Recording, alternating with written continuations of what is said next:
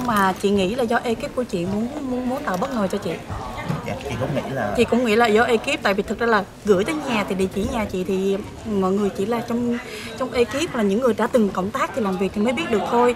Nên là chị nghĩ là chắc là đã làm có trò đùa thì chị mới dám đăng lên như thế.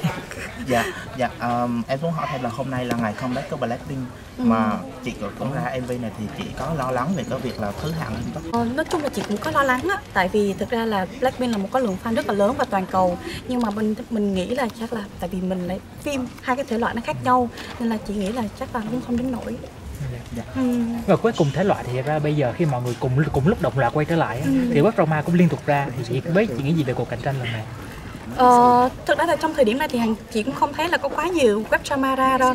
Và khi mà càng có nhiều cái thị trường nó càng sôi động hơn. Mà thị trường càng sôi động thì cái sản phẩm của mình nếu như mà thực sự chất lượng đó thì nó sẽ được mọi người lưu ý rất là nhiều. Nó có sự so sánh và nó có uh, mọi người sẽ có thói quen xem và sẽ so sánh và biết đâu nó là một cái cơ hội yeah. Dạ. với những khách tại vì minh hằng chỉ nói là minh hằng là một cái thương hiệu vì khi mình chọn những cái người mà tham gia đồng hành khách mời khách mời á, ừ. mình bị áp lực hay là mình có đắn đo gì về về cái sự nổi tiếng hơn thua của họ với mình không ạ không thật sự là giống như hằng chia sẻ là ngày hôm nay hằng cảm thấy rất hạnh phúc khi mà tất cả các dàn các bạn khách mời trong phim á đến á, là hầu như là hoàn toàn là trên tinh thần ủng hộ và chia sẻ uh, những cái dự án của mình làm và họ có nói với hằng rất là nhiều câu đó là uh, thực ra là thấy được cái tâm huyết của hằng và đến đây để coi như là chúc mừng và cũng như là một trong những người cộng sự làm cùng ngành nghề và họ muốn là mình có thể làm được những điều lớn lao hơn. Và một, thực sự là hằng và ekip cũng có một khoản dành cho tất cả các bạn nghệ sĩ đến. Nhưng mà hầu như các bạn nào đến đó các bạn cũng trả tiền lại. Và các bạn nó thôi để dành tiền làm phim đi. Chứ là không cần tiền đâu tại vì thực ra là cái số đó nó cũng không là gì cả. Nhưng mà các bạn nói là hãy coi như đây là sự ủng hộ tinh thần. Nên là cảm thấy rất là quý nãy chị cũng nói là mình học cách sản xuất phim bằng cách là mình đầu tư một phần cho các dự án kia rồi ừ. bây giờ nhưng mà tại khi mà mình đã có nhiều kinh nghiệm hai ba phim để mình đầu tư ừ. điện ảnh rồi ừ. để mình có cái bước dùng cái từ dùng từ hơi lùi lại hơi đi ngược là mình làm web drama thì nghĩ như thế nào về ý kiến đó mình đầu tư lại làm web drama không làm phim ảnh luôn ờ, thằng thì lại nghĩ khác nha ờ, mình đã đầu tư nhiều phim điện ảnh nhưng mà mình chỉ là với tư cách là nhà đầu tư. À, mình chưa có đi sát sao vào từng cái cái bộ phận từng cái chi tiết từng cái cái à, từng cái bước mình sẽ phải làm như thế nào. Thì hằng là người rất là kỹ tính để sản xuất một bộ phim điện ảnh. Thì hằng hằng nói đó hằng rất là rất là quan trọng cái phần khâu kịch bản là những người cộng tác cộng sự với mình. Giống như cái bộ phim này nè hằng phải đi nói nôm na là hằng phải đi phỏng vấn đạo diễn. Hằng đưa cho họ đọc kịch bản của mình xong rồi hằng sẽ gặp à, đạo từng đạo diễn và họ nói là hỏi là à họ nghĩ gì về kịch bản của mình? Và nếu như mà họ đưa ra cho mình những cái thông tin mà mình a à, cái người này đang hợp với mình nè họ hiểu kịch bản của mình hiểu đứa con của mình nè thì mình mới có thể làm được. À, Hằng đã đi phỏng vấn rất là nhiều đạo diễn và cuối cùng có những người là họ họ chuyên về hình sự, họ chuyên về uh, drama rồi họ chuyên về ngành nghề nào đó. Nhưng mà khi mà họ nói về kịch bản của mình thì lại không đúng với những gì mình tưởng tượng ra. Đó thì thì Hằng lại không chọn Hằng chọn những người mà nó cùng chí hướng cùng đường đi của mình Yeah. Dạ. lần này tham gia một vai trò hoàn toàn là tham gia lao vào sản xuất luôn ừ. thì cái bỡ ngỡ nhất của mình là gì khi mình đã có kinh nghiệm một phần ừ. mà bây giờ mình lao và mình làm trăm phần trăm sản xuất thì cái gì bỡ ngỡ nhất đối với chị là bỡ ngỡ nhất đó là mình phải à, giống như hằng nói là hồi trước giờ mình chỉ tới phim trường mình lo make up cho đẹp khi mình quay quay xong cái mọi người à, lúc mà mọi người sát á mình dân ngủ mình ăn mình chỉ là tập trung đọc kịch bản hay là đó còn bây giờ là lúc ngoài cái lúc mình phải quay phim rồi mình còn phải à, chỉ đạo diễn xuất cho tất cả các bạn còn lại tại vì mình là người hiểu kịch bản nhất đó là đứa con của mình. Từng cái lời thoại hàng thuộc hết từng của một lời thoại của từng diễn viên. Thế là mình phải tập với các bạn để các bạn không bị khớp về lời thoại.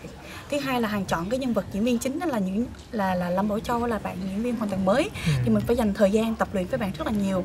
Thứ ba nữa là ngoài cái cảnh quay đó thì hàng phải coi cảnh sát hàng phải coi cover nguyên một đoàn phim là đang chạy như thế nào ra sao kể cả cái chuyện là hiện trường đang đậu xe ở chỗ nào.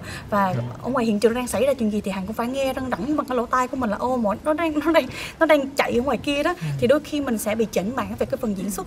À, hằng rất là là, là là là mình nói chung là mình phải tập trung cao độ rất là nhiều. Và cái thời điểm hằng quay phim là thời điểm là kết thúc đóng máy là ngày 29 Tết mà mọi biết mọi người biết rồi. Gần Tết thì ai cũng giống như là ôi muốn về ăn cơm muốn về chơi muốn về quê. Và có những cái anh chị trong ekip đoàn phim ấy là họ phải ở xa mà họ không được đi về. 29 Tết thì mình mới được cho họ về. Thì mình cũng nôn lắm ai cũng nôn cả. Nên là cái tinh thần làm việc lúc đó thì ai cũng phải gấp rút làm cho thật tốt và triển khai hiệu quả nhưng mà lại không được làm ẩu. Ừ. đối với hằng là sẽ không bao giờ có tự ẩu khi mà quay phim của mọi người thấy là từng yeah. Dạ. chi tiết một từng cái sao từng cái hiệu ứng thì đều đều là phải hằng phải kiểm duyệt từng thứ một Dạ. mình, mình có gần như mình khoảng được 3 tháng cách ly xã hội để mình lo Ừ, hậu kỳ nhưng mà đến bây giờ mình mới ra mắt thì biết là có cái khoảng từ tháng 5 mà đã đã mở rộng Ừ, cách ly ừ, rồi. ừ, thì bây giờ mấy chị chỉ chọn ra mắt thì nó nó hơi trễ so với cái Ờ, thực ra không không có trễ đâu. Như mọi người biết đó là à, sau khi giãn cách á, thì nói chung là mình làm phim á, thì mình cũng mong là sẽ có được nhiều khán giả ủng hộ Dạ. mà sau khi được nhiều khán giả ủng hộ để làm gì lại là có thể đi hát đi kiếm tiền làm phim tiếp mà bây giờ trong trang trong thời thời điểm mà giãn cách thì Ừ. à, mọi người biết là từ đây tới cuối năm hầu như là sẽ không có show nhiều nhiều đâu Dạ, đúng. sẽ không có được tổ chức show trên một năm trăm người hay một nghìn người thì đó là mình sẽ không có show diễn để mà có thể đi, đi kiếm tiền rồi tái đầu tư nên là ra trong cái thời điểm này hầu như là hàng chỉ là là vì bản thân á là vì fan thích rồi vì hằng muốn ra trong đúng cái tháng 6 để nói lên cái ý nghĩa của báo chí nên là hằng cái chơi thôi. Chứ thật ra là bây giờ ra thì nó sẽ không mang về hiệu quả kinh tế dài lâu cho hằng. Dạ. Cái này chị Hằng ơi, hôm qua khi mà cái bức ảnh chị đăng lên thì cái hướng xử lý của chị với cái người mà gửi cái thư này như thế nào? Ờ, thực ra là hôm nay chị mới biết là ekip ờ, đâu đó đó mấy chị mà sản xuất producer đó là tạo bất ngờ cho hằng. Có nghĩa là tại vì họ muốn là nói về cái cái thông điệp mà hằng là người săn tin và là hằng là người luôn luôn nhận cái mission để mà có thể thực hiện những cái những cái cái cái công tác đó. Những cái điều đó. Nên là ekip làm. Ekip làm mà mình cũng không biết và họ giấu mình để mà mình bất ngờ. Nên rất là mong là mọi người sẽ không có ờ, bản thân hằng cũng bị bất ngờ điều đó. Nhưng hằng hằng đoán được tại vì bản thân mình là cái lối sống hoặc là đời sống cá nhân của mình nó không có như thế thì mình cũng đoán được đây là một trò đùa của một ai đó. Không nhưng, phải là nhưng, nhưng ơi tại vì tại vì là khi mà cái tin đồn á thì nó Dạ. lan rất là nhanh. Dạ. và rất chắc chắn là khi mà ừ, kể em đính chính bây giờ á, thì chưa chắc là những cái người đó người ta đã Họ biết tin. được. À, thì rất là nhiều người sẽ có cái ấn tượng rằng là em là cái người giật chồng là những cái tin đồn lý là đúng. Vậy thì em có lo lắng với cả cái, cái trò đùa này của mọi người không? Em, em cũng có nghĩ nhưng mà thực ra là em em nghĩ là wow giống như mình khi mà mình mình không có tật thì mình sẽ không có bị giật mình á. Nên là mình cũng không có sợ. Tại vì khi mà mình có thì mình mới sợ. Còn khi mà mình không có thì em cũng post lên trên Facebook rất là bình thường và ủa, ủa ai gửi vậy là còn nếu như có chắc là phải giấu rồi. Đâu có dám xô ra. nhưng mà Dạ. chắc chắn là chắc chắn là một thời gian tới là có sẽ nhiều người sẽ đinh ninh về cái điều đó tại, tại vì họ muốn chính bao tin nhiêu ở thì đó. nếu mà mình nếu mà mình cứ đính chính với những người mà họ muốn tin thì cái đính chính Ừ. ngoài cũng không được em là đủ đủ lớn để có thể hiểu được điều đó và cũng không bao giờ đính chính những cái điều đó Chị ơi, Dạ. mà tại vì là kể cả cái thời đính chính của chị thấy là nó sẽ khiến mọi người có thể nghĩ theo một hướng khác nữa là Ờ. chị gây chú ý chẳng hạn À. PR đừng bóng tên tuổi chẳng hạn thì chị nghĩ sao ạ? Ờ, thực ra chắc ekip mình cũng nghĩ điều đó mình cũng không phủ nhận tại tại vì ekip mình cũng làm điều đó nhưng mà vấn đề là mình không biết thôi ờ, tại vì bộ phim nó liên quan tới tới tới báo chí, liên quan tới lấy thông tin. Thì họ đang làm đúng cái công việc của họ, đang làm những cái cộng sự của của của hàng nó làm đúng với những gì mà họ đang làm. Nên mình cũng không trách được nhưng mà nếu mà chắc chắn có có có có điều gì đó thì mình vẫn phải là người đứng ra. Thì mình là người thủ lĩnh thì mình cũng phải đứng ra nhận tất cả những điều đó. Nhưng hàng nghĩ khán giả bây giờ họ thông minh lắm. Họ hiểu được cái gì là mình đánh bóng tên tuổi tới thời điểm này thì hàng cũng không không không không cần lắm. Tại vì ờ, những cái sản phẩm này của mình mọi người thấy là nó nó nó là một cái một cái thể loại là một cái một cái hướng đi mà chắc chắn là sẽ ít người có thể làm được ít người có thể dám làm và dám dấn thân vào. Dạ. Vì năm 2019 vừa rồi mọi người thấy chị Hằng im ắng trong cái lĩnh vực xuất hiện. Tức là mình mình bắt đầu từ từ mình lộ ra những những cái vai trò mình sản xuất. Dạ. thì năm nay liên tục những cái vai diễn được giới thiệu thì chị kỳ vọng gì về một Minh Hằng một làm diễn viên cho năm 2020 này? Thật, khi mà sống yên biển lặng chắc chắn là sẽ có bão tố bùng lên. Năm 2019 là năm 2000 hàng ấp ủ hàng viết kịch bản hàng xây dựng ý tưởng hàng lên plan cho năm 2020 mình sẽ làm gì. Ờ, đó là một trong những cái kế hoạch của Hằng. Và Dạ. trong năm 2020 thì mọi người thấy là ngoài cái web series này ngoài một cái album ra chín bài thì Hằng có showcase để mà biểu diễn những cái ca khúc ở trong phim. Rồi có à, bộ phim thoát ế sẽ được ra mắt vào dịp à, Giáng sinh tháng 12 à, và với vai trò là vừa sản xuất vừa viết kịch bản và cũng như là vừa là diễn viên ở trong bộ phim thoát ế. Dạ. Với, với ở độ tuổi này Minh Hằng rồi một diễn viên Minh Hằng sẽ có mong muốn cái gì màu sắc khác so với Minh Hằng 10 năm trước? Ừ, chắc chắn là màu khác rất là nhiều mọi người Ừ. có đi họp báo phim thoát ế là thấy là hằng đã khá wow, wow. hoàn Dạ. toàn là không phải là minh hằng của trước kia một cái vai diễn hằng nghĩ đây là cái bộ phim mà nó sẽ nó sẽ một cái bước rất là ngoạn mục. Một là hằng sẽ được tất cả hai là hằng sẽ mất tất cả sẽ mất tất cả fan mà lượng fan hâm mộ của hằng. Mà trước giờ là ô minh hằng là ai? Minh hằng diễn dễ thương như thế nào? Thì đối với thoát ế thì đó là một cái hình ảnh hoàn toàn khác. Và bây giờ là cái bước mà hằng đã không còn thích làm những điều mà nó quá nhàm chán và ừm, an toàn. Đây là cái thời điểm mà hằng thích mạo hiểm chị ơi thời gian qua thì cái bộ hình mà chị cũng rất là được chú ý thì em muốn hỏi là cái quá trình thực hiện thì nó lâu và các chị có khó khăn gì không À, cái bộ cái bộ hình nó chỉ thực hiện từ 8 giờ sáng cho tới hầu như là tới tới cũng tới 8 8 9 giờ tối. Ờ, bộ hình đó thì ờ, make up rất là nhạt. À, thay đồ cũng không cần nhiều tại hầu như nó cũng nuốt hơi nhiều quá không cần phải thay đồ nhiều nhưng mà ờ, trước khi mà làm concept birthday ấy, thì mình cũng suy nghĩ là oh, mình làm concept gì để ờ, nó có kỷ niệm của mình. Và hằng nghĩ là chắc là thanh xuân của người con gái đó chính là cơ thể. Và hằng muốn lưu giữ những khoảnh khắc đẹp nhất của mình cho cái độ tuổi mà nó gọi là nó chín mùi nhất và kể bên trong kể cả bên ngoài. Dạ em có đọc một cái bài phỏng vấn thì bạn chụp hình cũng bảo là là cái quá trình chụp hình thì rất là phải kín đáo. Đúng rồi. Hầu như là mình phải block hết cửa không có cho không có cho ai vào hết. À, rồi lúc đó là lúc mà các bạn fan đang đợi ở ngoài studio à, để mà chúc mừng sinh nhật cho hằng rồi gửi quà thì mọi người phải block hết. Đợi sau khi mà mặc quần áo chỉnh tề hết rồi thì thì mới dám cho các bạn đó vào. Ừ.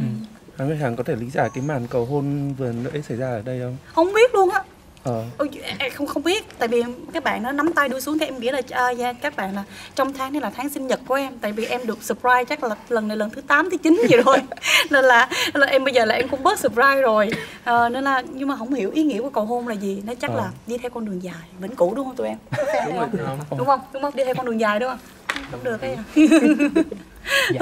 Là chị, nói trước giờ mọi người thấy một Minh Hằng dễ thương đóng vai dễ thương những vai Ừ, tim thì ừ. ra những đồng nghiệp những người làm trong lĩnh vực nghệ thuật cũng nhìn Minh Hằng rất là dễ mới như vậy nhưng mà chắc chắn khi làm vai trò sản xuất á Ừ. là người phải hét ra lửa tức là hình ảnh mình bắt đầu nó phải nghiêm nghị nó phải khó gần hơn thì chị có lo lắng hình ảnh của mình đối với đồng nghiệp sau này khi mà mình con đường sản xuất không Ừm, thực ra là lúc mà quay bộ phim ờ, kẻ săn tin thì hằng cũng có nổi nóng hai lần à, chuyện nóng là phải có tại thực ra là nó quá nhiều thứ. Tiền của Bây mình. giờ là dạ tại vì mình phải đang làm diễn viên mà mọi người cứ nghĩ là giống như là ô mình đang chuẩn bị diễn ha đang chuẩn bị diễn xong rồi cái ờ dạ ở ngoài kia đang đó ủa gì vậy? À cái cảnh đầu tiên là mọi người thấy là hằng ờ, đi mua đi đi jet ski tới mà lấy thông tin. Thì mọi người biết cái điều đó gì, gì xảy ra không?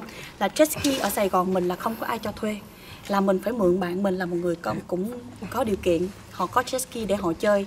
Thế là họ tự cho nhân viên họ lái tới cái chỗ mình quay là 45 phút. Sau đó họ gửi cái jet- jet ski ở đó. 45 phút sau chiếc jet ski mất tiêu. Nó chìm luôn nó chìm hoàn toàn mà mọi người nghĩ là jet ski thì không thể nào chìm được và nó chìm luôn. Hằng sẽ công bố cái clip đó trên trên trên trên mạng trong tối nay hoặc ngày mai. Mọi người cứ tưởng là, wow, một chiếc jet ski một cái giá trị rất là lớn. Xong nó chìm hẳn luôn. Mình phải nhờ cả ekip của đoàn ra là 10 người đàn ông mà để lôi cái chiếc jet ski lên, xong mình lật nó lại để đừng có bị chìm nữa. Và làm trong vòng mấy tiếng đồng hồ không được xong rồi bùn đất cát. Nó nằm trong một chiếc jet ski cực kỳ mới cấu của người ta mà người để người ta chơi. Nó chết nó choáng váng mặt mày rồi nó chết nó chắc đền cái này là hơn làm tiền phim nữa. Xỉu. Xong mình gọi điện thoại trong ta mình đập đầu xin lỗi rồi các thứ loại kêu xe cẩu lên cẩu Dạ. kéo lên. Nhưng mà bạn hoàng cũng rất là dễ thương. Cử thêm một chiếc xe ờ, cử thêm một chiếc mới đó là cái chiếc màu trắng. Tới thì lần này thôi nha mọi người mọi người quay nhanh giùm em cái quay nhanh đi em còn trả gấp. Đó rồi trong cái quá trình mà mình xử lý mình kéo nó được cái chiếc à, cái chiếc jet ski đó lên á thì là vừa kéo cẩu ha và mình quay cái địa hình là nó không có đường đi. Là mình phải nhờ xe xà lan kéo được ô các thể loại.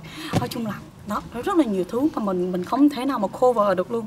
Rồi à, rồi như mọi người biết đó là quay ngày cận tết thì cái gì nó cũng lên mặt bằng cái gì cũng lên nhân sự cũng lên cái gì nó cũng lên nói chung là mình nói trời trời trời xong mỗi ngày mà mở mắt ra cái mấy tiền nó bay béo béo béo béo béo Dạ. thì giờ tới kinh phí của chị bây giờ nó nó nó chị nhắm là nó như thế nào nếu như mà cái ờ, cái cái cái cái clip mà em Ừ, cái ừ, web ừ, drama ừ, của chị ừ. á chị hy vọng nó nó nếu như mà không có được như những như mong muốn thì chị sẽ không chị cũng lường trước chuyện đó rồi tại thực ra mình bây giờ hiện tại bây giờ mình vẫn chưa kiếm được tiền ở trên youtube đâu. Tại vì một view một triệu view bây giờ là trả lại rất là ít ỏi so với cái những cái số tiền mình đầu tư.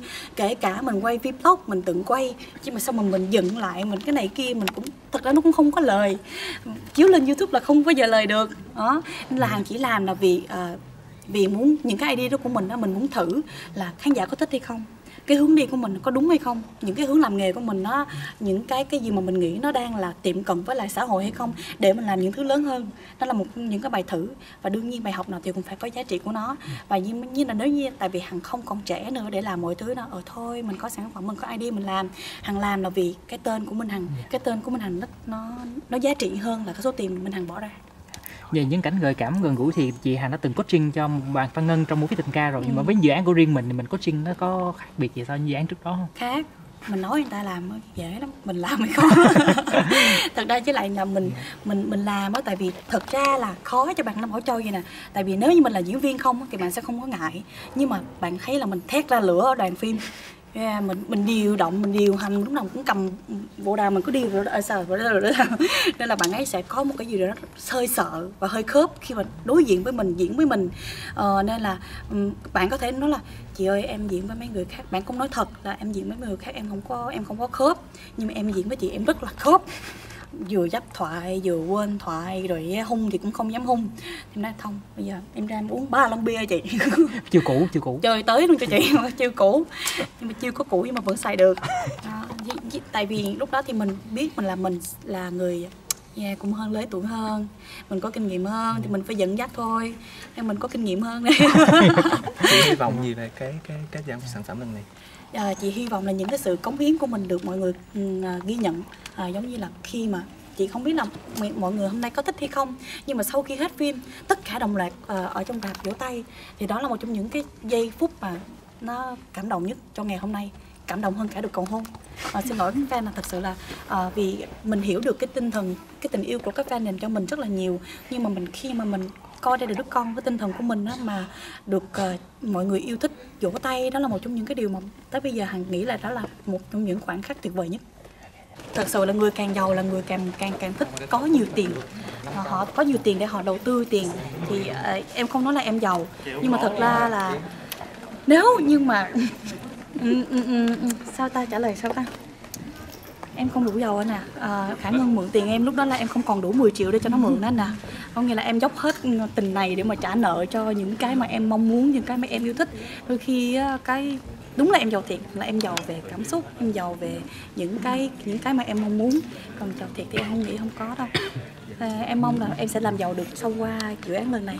Em mong mọi người hãy ủng hộ để mình hàng giàu hơn. Yeah yeah yeah